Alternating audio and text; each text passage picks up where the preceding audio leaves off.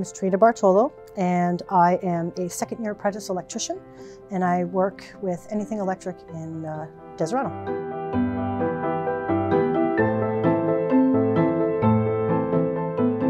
always been more artistically inclined, but I've always loved knowing how things work.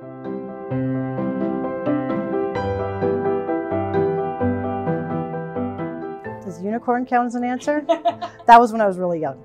Um, I wanted to be a marine biologist. I wanted to be an artist. I've wanted to be many different things in my life. So I've never really had one dream, but it was always just to know things.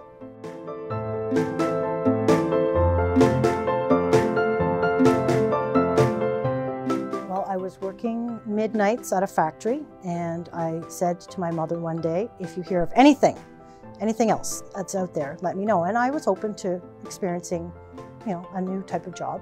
And she told me about this, you know, an apprenticeship that had opened up and I applied.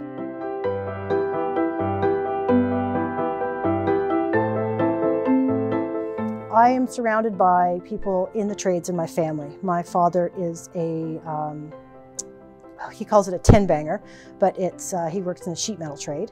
My brother has his uh, Class A mechanic, and my mom and I also have our hairdressing licenses.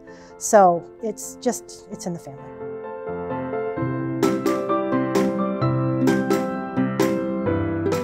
Just recently, I went through my first block of schooling, and uh, the math is challenging, and I was getting to the point where was, I was becoming overwhelmed by it. And I finally realized I had to put my hand up and ask for help. And when I did, I got help and it just became clear.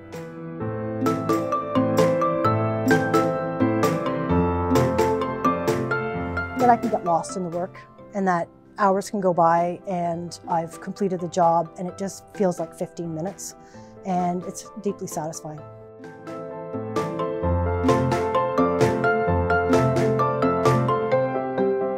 I'm going to continue with my education. Uh, since I'm a second year apprentice, I'll have at least three more years to go, two more blocks of schooling, have that to look forward to. For now, it's education, asking questions, learning, and taking in all I can.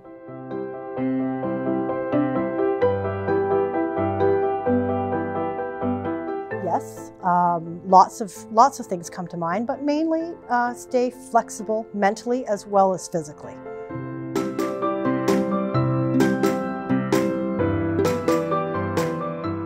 I like it because you can be inside, you can be outside, you can, you're not stuck in one location all day, every day, which I have past experience with.